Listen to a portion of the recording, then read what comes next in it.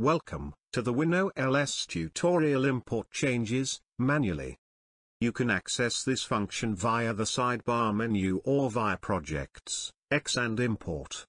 It is identical to the connect function and it sets this up for you. Now you see the projects next to each other and you can easily compare them and transfer changes. Scrolling also works in parallel if the connect checkbox is activated.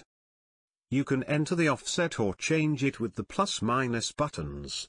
You can also hold down these buttons or accelerate them with the Shift or Control Shift buttons.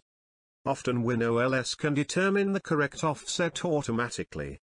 This is possible for the current cursor position, if necessary only if it is found in a map. For the current selection. For the current map or for the current map, where it must exist with an identical ID on the other side.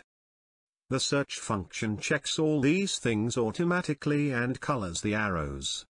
Red means that something was found, orange means that the current offset is among the results. This can slow down WinOLS noticeably in large projects and can therefore be switched off. The optional tolerance also slows down the search. If there are several results, you can go through them here. In the area copy you can copy the selected cells. Copy the map at the cursor position. Overwrite the text information of the map on the target page. And transfer the selected comments.